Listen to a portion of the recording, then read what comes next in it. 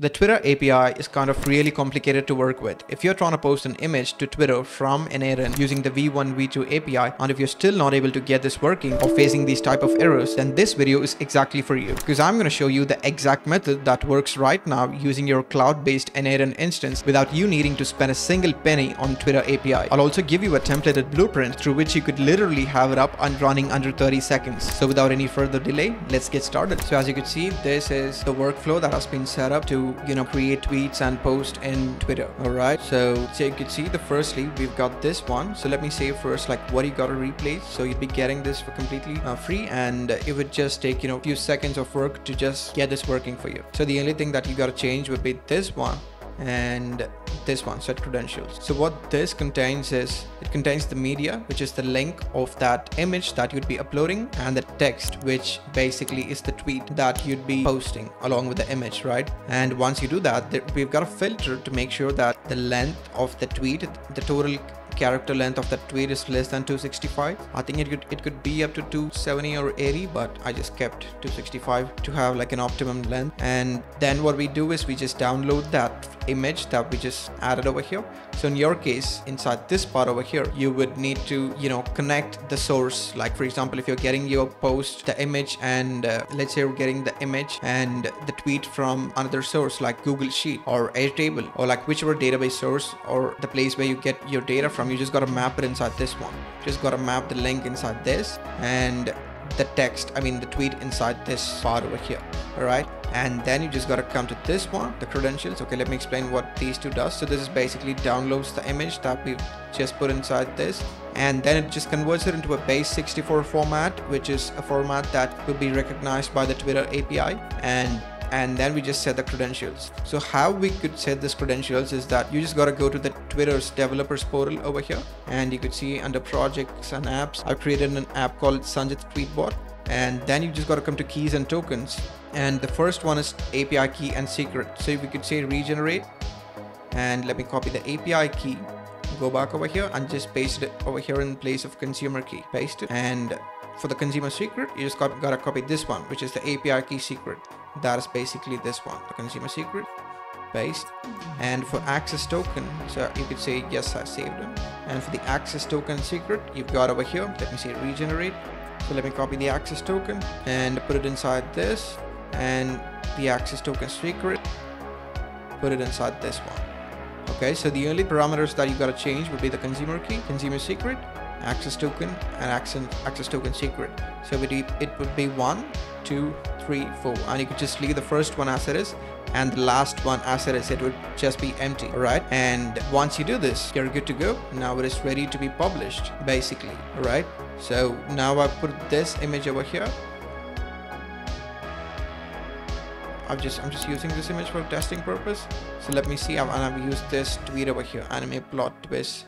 So let me say run.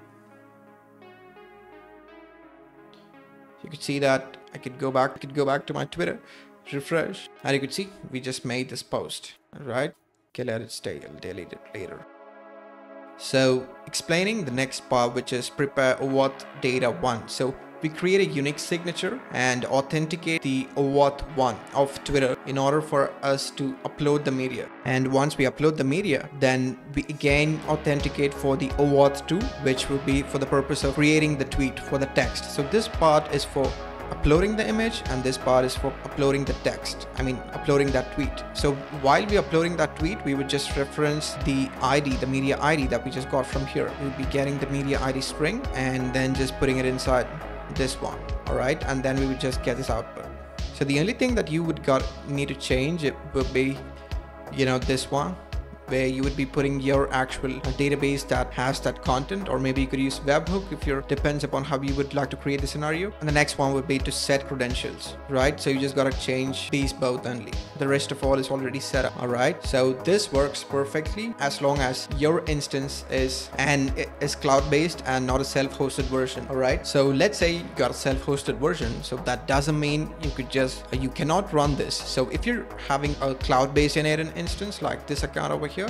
So the solution is already right in front of you. You could just take this and just use this as long as you replace this one and replace it with your credentials. All right. So if it's a cloud-based instance you just gotta follow the method that I'm, i would be saying right now. All right. So what you gotta do for that basically is let's say that you know what I use is called railway. So this is what I use. So what I'll do is I'll copy this one. Okay. I'll copy and go to this top Twitter n8n which is under self-hosted railway. So I've already pasted this here but it wouldn't work because I've changed the credentials over here. For the purpose of dem for this video purpose I've changed the credentials right? So it, it wouldn't work. So let me just delete it and replace it with the one that I just copied. So I've just set this up and when I say test workflow, it would just show me this sort of error. Says cannot find module crypto line one, which is related to this one. All right. So if it is a cloud based one, you know, this would be recognized by default over here. You know, this wouldn't create problem.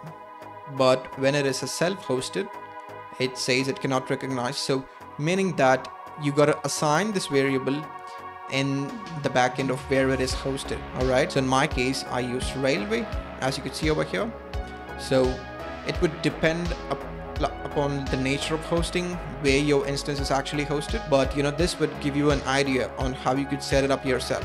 So if you're using railway you could just do exactly what i do and it would definitely work. And if you're using any other platforms you, you could just get this idea and just implement this variable setup in your instance, in your platform where it is hosted okay? In your hosted region. So so what we got to do is first you know over here. I see that I just got to hit on this one primary and go to variables. I gotta say new variable. And I just gotta put in this variable as it is exactly. So just make sure you put it put it exactly like this all right and then in the value you just gotta put crypto. So these both should be exactly the same as what I've entered over here. And then you could just say add close this one and just go to the worker as well and go to the variables and just do the same Oops, just say new variable add crypto and put in the same node function allow built-in and say add all right and now I could say deploy so as soon as I say deploy and it get deployed we should get rid of this error. So I'm, let me run it once again and you can see this error still exists in our self-hosted version. Now when I go back and say deploy and once it is deployed and we try to run this one, it should it should create the exact same post over here the second time. So now it was done seven minutes ago. Let us wait for this to get hosted. It, it would just take a few minutes, like two or three minutes. Oh, it is done. All right, let me come back. So let me say save refresh the page test workflow let me wait for it to get reconnected let me say test workflow. And you see now this works. So if I were to open this and it shows me this ID it means that it has done the posting on the self-hosted one. So what you got to do is in your that wherever you host it you just got to go and add this crypto as the variable over there and it should work all right? So so let's say it, but it would also depend upon like the complication of how your hosting has set up all right? So please feel free to let me know if you've got any doubts in the comment section. I think show come to the twitter and refresh and show this. And you can see that it it, it just did the second post which was just 46 seconds ago.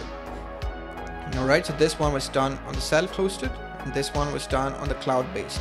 So if you're using a self-hosted version and unable to get this, you know, set up this variable path and facing any sort of issues, feel free to get in touch and I'd be happy to help you all. And I'll also try making another video separately on how we could not, you know, depend, you know, depend upon this one. Instead, you know, we could just set up the script in Firebase and create Firebase cloud functions and make an API call to that Firebase to that script that is set up on uh, that is hosted on Firebase and it could do the posting for us. But you know, I thought this could be a much simpler one, but as long as it is in in a cloud-based account. And if you're using Prime, you know, Railway or Render, it should be easier like how I showed you over here. All right, yeah. So if I happen to make another video on how you could, you know, not depend upon this one for self-hosted version, I'll make sure to link it down in the description. But this is a perfect best solution if you're using you know a cloud-based instance like you could just get this working right away as long as you got this one figured out. If you're using a cloud-based one not a problem at all. And yeah so if it's if it is you're using